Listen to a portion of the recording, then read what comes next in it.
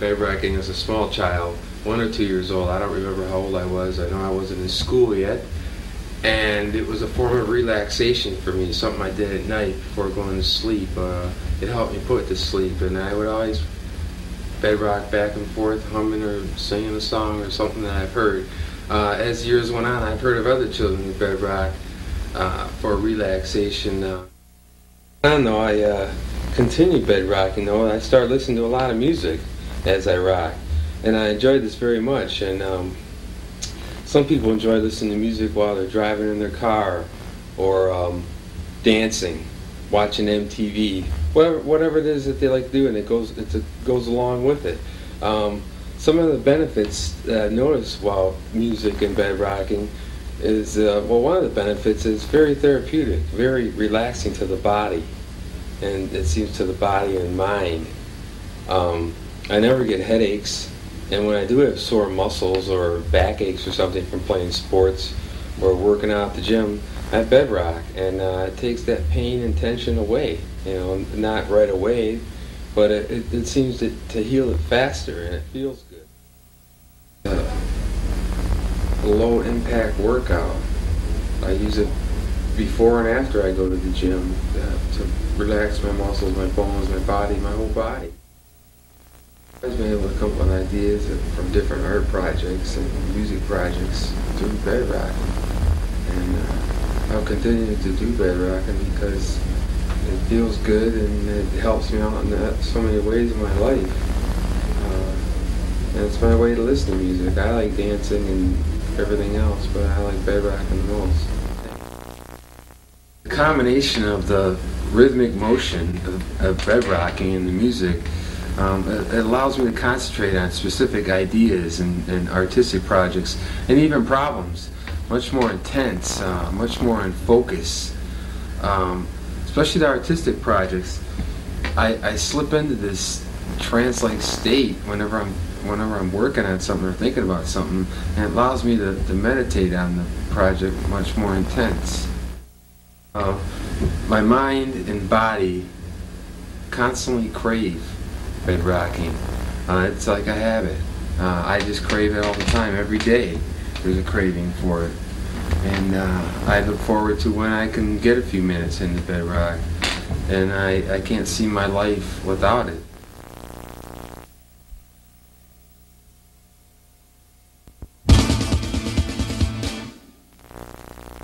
I remember him bedrocking when I was seven or eight. He was probably about five or six when I remember him doing it. Did it quite a bit. What? I, I don't know, fourth grade. I was eight, nine. He was eight or nine. I was eight or nine. You were eight or nine. You, you I'd say- how old he was. Twelve-ish. Cindy, do you Some- recall when you first?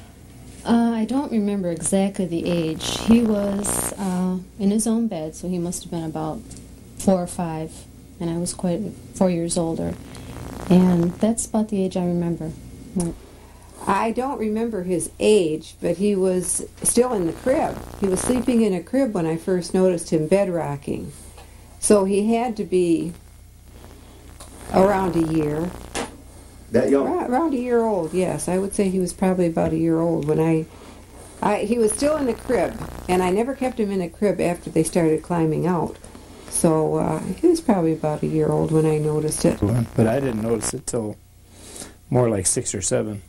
When he was in a bed by himself is when I actually noticed it. Probably about uh, 12, 13. Teenagers. Well, I remember he, uh, he, my dad built a room downstairs for him, and he was like probably about 13, you know, junior high, kind of, you know, getting his independence. So he got his own room, and I think that's when I noticed, you know, because now he's got his own room, and he's in my own room. I, you know, he never really in there together, only to sleep.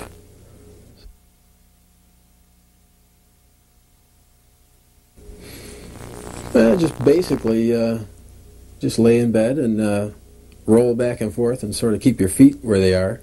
He would, he would, his whole body would just roll from one side of his face to the other The side. whole, Whole body, body. would roll from the feet And you to asked me- top of the yeah. Just straight as a stick. Yeah, and he'd roll. Totally. You, Bed rocking, I would describe it as rolling back and forth in your bed, kind of singing or humming, you know, yourself to sleep. Into that. Um, I wouldn't say putting yourself to sleep, more as a just a soothing. I don't know. I don't know. Trance-like soothing state. Bed rocking was rolling back and forth. He would make sure he would roll completely from one side to the other, and, and usually he hummed uh, music songs. Uh, he's always always hummed something when he did it. He never he was never quiet. He usually had a constant rhythm. It was usually the, the same speed. It's fairly fast. It was usually the same speed. He rolled back and forth and back. You know, was, bed rocking, as far as um, Mike bed rocks, just, you know, he lays down on the bed and he just puts on music and he rocks back and forth. It's just as he's moving side to side and listening to music.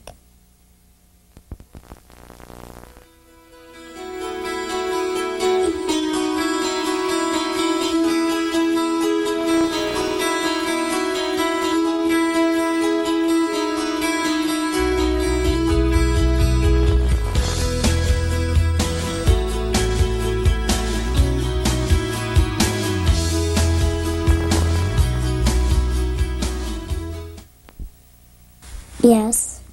Did- It's okay. Once, Only once. hmm How long ago was that? um, maybe three years ago, two, two, three years ago. I don't How know. how did it affect you? Mm, I could see, you know, I think it's one of those things I could see where it could be um, relaxing, very relaxing. It's just something I just never got into. I don't know why, but I can see where, you know, it could be really relaxing. Rocking? Yeah, I tried it a lot of times. The whole thing is you had to be in Mike's bed to do it. Why Mike's bed? Well, for one thing, just being in his room, the room my dad built for him was so small. It barely, it just pretty much held a bed, and you could walk in, you had to lay on the bed.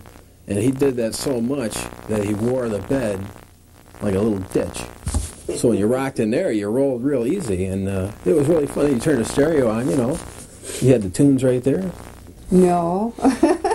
oh, you never know. I, I'm liable to, I don't have any plans to start it. Was this? yes, I tried it. What did you? Uh, Uncomfortable. You, Yeah, I, I've had a hard time doing it myself. I tried it myself just lately to see if I could, and it was hard to move my whole body the way he did. Yeah, I tried it, and I didn't like it. Why do you say you didn't like it? It just made me. It just was not comfortable. I just didn't understand. I couldn't understand why he did it because it wasn't comfortable. I he he made it sound comfortable, like he easy or enjoyed it. He looked like it was fun. I tried it, and to me, it just made me kind of dizzy. you Yeah, know. give you a headache. And for me, I didn't really need that to put myself to sleep, you know, and I didn't really get any enjoyment out of it, so I didn't really do it. But mainly because I saw him, I thought, well, you know, There's got to be something all to it. about? Yeah. I tried it. I tried it uh, when I used, when he would, would do it. Uh, all it did was make me dizzy. it, didn't, it didn't relax me. It rela- I don't know how it relaxed him, but it, it didn't relax me.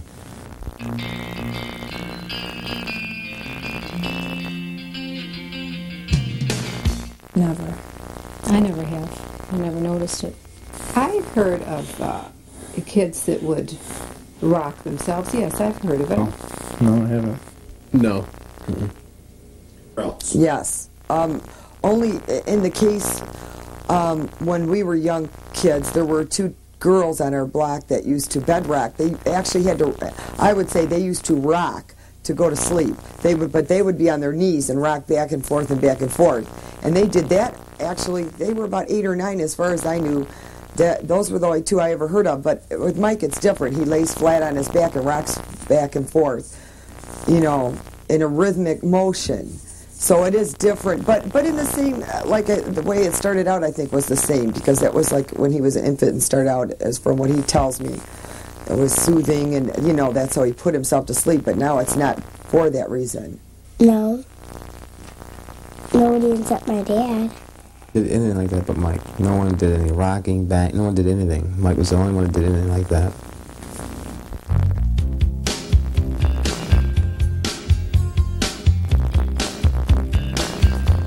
It'll be alright. It'll be alright. It'll be okay.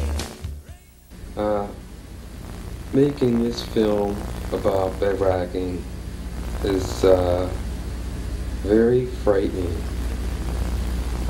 Because you're just it's the fear of people's reactions and what they'll think of it or you know the idea.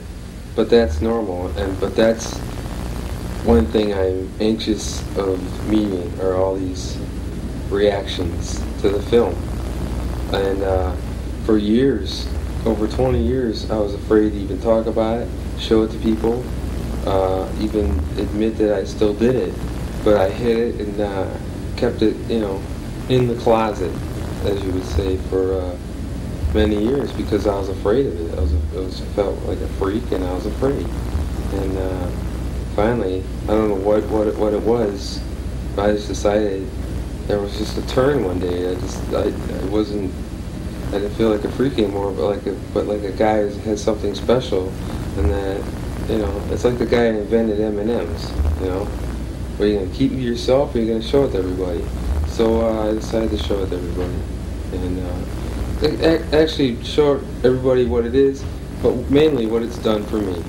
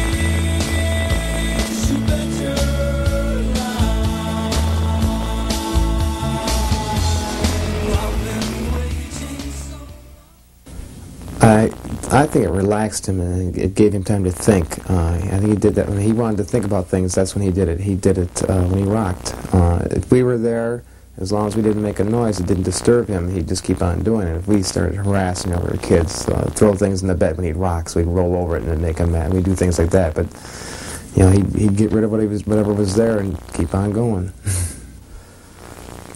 I think you know when he. I think when you do it, the, the noise and, the, and, the, and all the, everything you put into it to rock drives everything away, so you don't hear anything.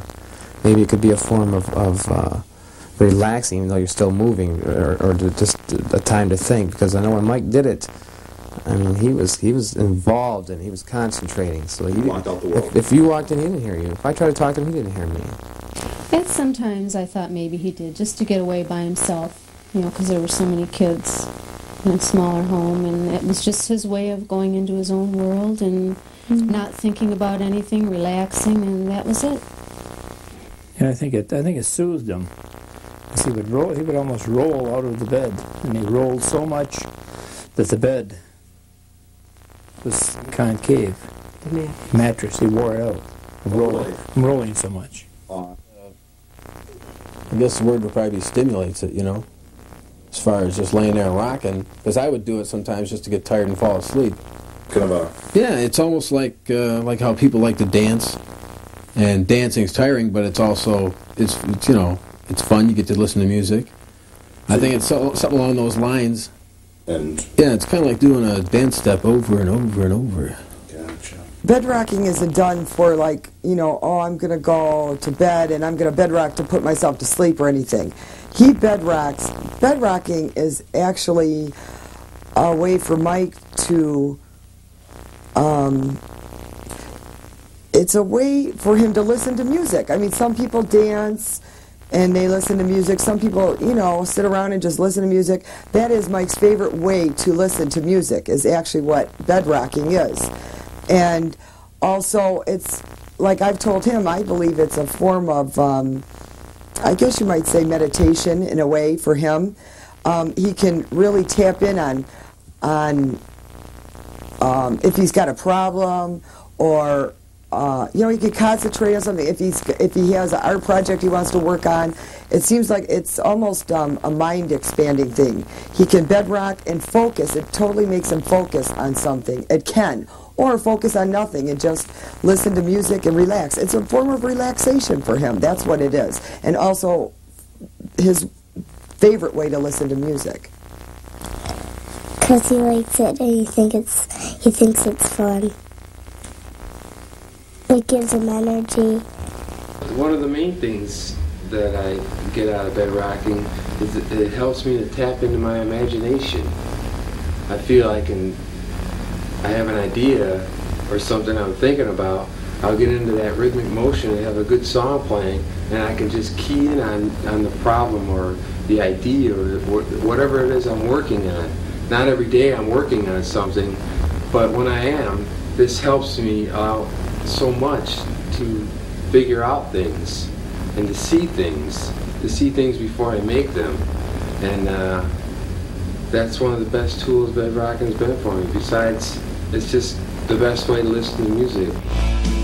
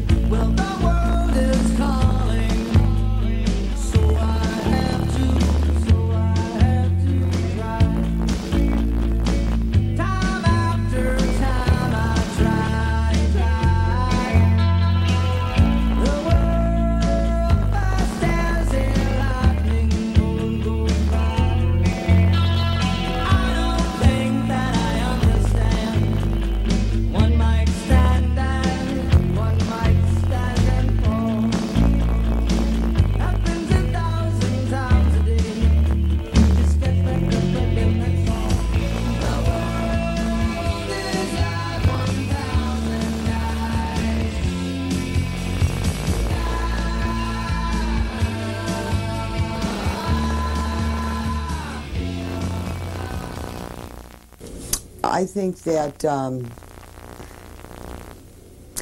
I don't know if uh, bedrocking helped Mike to become a drummer.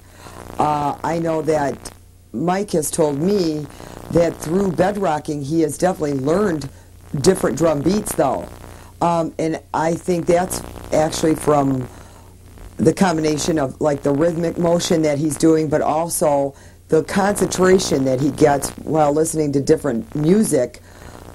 Uh, he's he's he's homing in on different drum beats that he's hearing, and then he learns the beats from the different music. Well, um, I guess because he was bedrocking the music, getting rhythm and all that, I think it was um, springboard for it. I think if he would have tried guitar or anything, he probably would have been, you know, somewhat good at it just because he he really enjoyed music. I never noticed him humming. Um, I, I, he, very young, uh, he enjoyed music.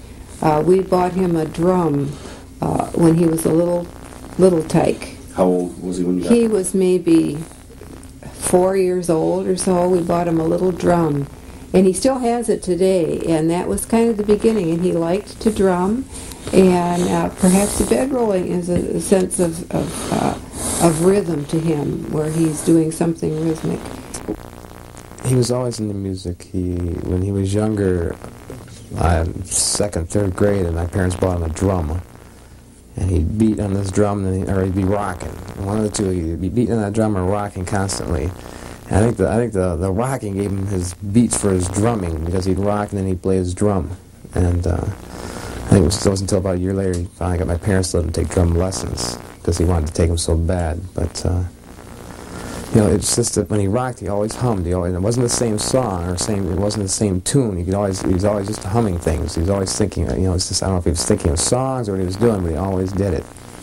I became interested at a very young age, eighth grade I was in, uh, in playing the drums because I've always fantasized about being in a rock band. And uh, I had the opportunity to start drum lessons and uh, through bedrocking I would listen to bands and listen to their drummers and it helped me, helped me learn drum beats. I'd listen to a drum beat and then I'd run down and practice on my drum set.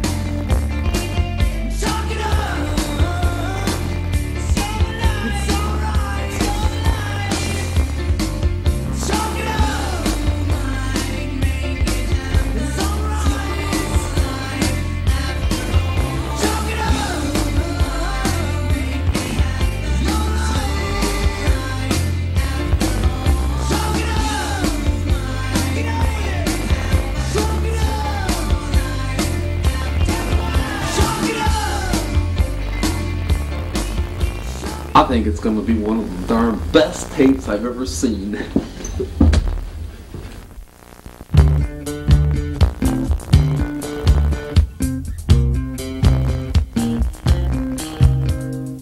And oddly enough, one time we were moving, and uh, a buddy of ours, a good friend of Mike's, who knew about Mike bedrocking from when he was a kid and teenager, um, we were moving out the mattresses, and somebody made a crack about our mattress because it was like all sunk in, and there springs coming out, and it, it didn't dawn on me till we were moving. Funny enough, they knew about the bed rocking.